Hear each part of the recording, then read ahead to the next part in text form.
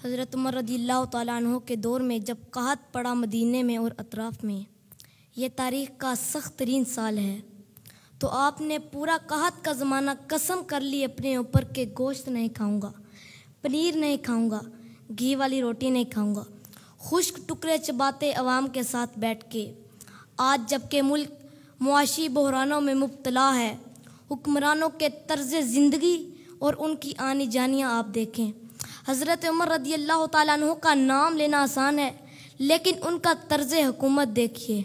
आप उन अयाम के अंदर अपनी अजवाज के यहाँ भी नहीं जा रहे थे, रातों को गश्त किया करते थे। एक सफ़र से वापस आ रहे थे तो रास्ते में रात का क्याम किया तो देखा कि एक बच्चा रोता है और माँ चुप करवाती है। तो मालूम किया कि ये बच्चा क्यों रोता है? तो माँ ने बताया कि उमर ने महाना वजीफ़ा मुकर किया है अपनी रियाया के हर फर्द का। लेकिन जो दूध पीते बच्चे हैं, उनका वजीफ़ा मुकर नहीं किया हुआ। तो मैं इस बच्चे को दूध छुड़ा रही हूँ ताकि इस बच्चे का वजीफ़ा भी मुकर हो जाए। तो हज़रत उमर रोए और उसी वक़्त ऐलान करवा दिया कि आज से दूध पीते बच्चों का वजीफ़ा भी मुकर है। रोए जा रहे थे और साथ कहे जा रहे थे, उमर, तूने कितने बच्चों का हक मारा है?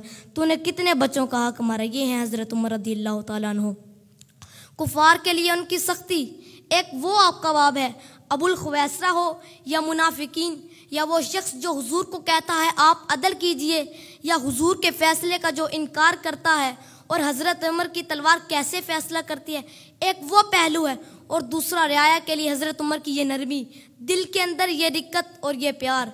ये हज़रत उमर ने ही फलाही रियासत का वो तस्वुर दिया था, जिससे अपनी रियाया को इस तरह से सहूलत दी जाती है।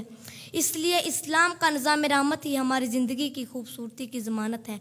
साहिब, हमने कई रंगों की जमहूरियतें भी देख ली, मार्शल लाओ के नज़म भी हमने देखे, हमारे दर्द का मदावा कहीं भी नहीं है।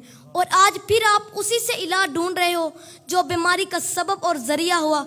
मीर भी क्या सादा है कि बीमार हुए, जिसके सबब उसी अतार के लोंडे से दवा लेते हैं। इस जमहूरियत ने हमें दिया क्या है?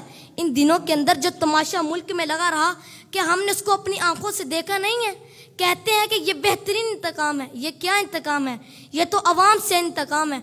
और तुम्हारे अकाउंट बढ़ते हैं और तुम पैसे भर के जो है वो दीगर ममालिक के अंदर शिफ्ट कर देते हो।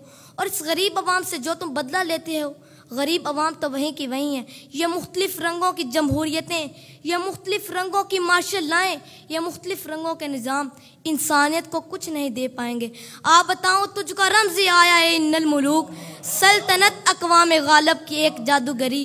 ख्वाब से बेदार होता है, यहाँ महकूम अगर फिर सुला देती है उसको हुक्मरान की सहारी। देवे इस्तबदाद है जमहूरी कबाबे पाए कोप तू समझता है जिसको आज़ादी की नीलम परी।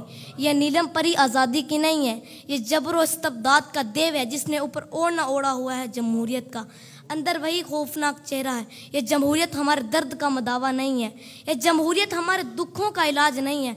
हमारे दुखों का मदावा है तो वह निज़ाम खिलाफत है। उसके लिए हमें कोशिश करनी चाहिए।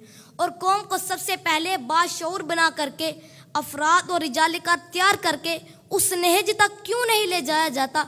जब समत ही हमने दुरुस्त मंतखब नहीं की है तो जितना तेज़ भागेंगे, मंजर से दूर होते चले जाएँगे। इसलिए इस्लाम का निज़ाम खिलाफत, जिसने पुरअमन ज़िंदगी का नूर दिया है, इस्लाम का खिलाफ राशिदा का दौर, दुनिया की तारीख का सुनहरा दौर है। तो हज़रत उमर का ज़मानत देखिए, उनका अंदाज हुक्मरानी देखिए फलाही रियासत का वो तस्वुर देखिए। इंसानियत के हकूक़ जो उन्होंने दिए, ये इंसानियत के हकूक़ के चार्टर के अंदर जो बातें लिखी हैं, ये चरबा हज़रत उमर से लिया गया है। और ये सबसे पहले कौल हज़रत उमर का ही था कि इंसानों को उनकी माओ ने आज़ाद पैदा किया है। किसी को हक नहीं है कि उनको ग़ुलाम बना सके। तो इंसानी आज़ादी का वो तस्वुर इस्लाम ने दिया है कि मोहम्मद से वफा तूने तो हम तेरे हैं कि मोहम्मद से वफा तूने तो हम तेरे हैं, ये जहाँ चीज़ है, क्या लोहो कलम तेरे हैं? वसलाम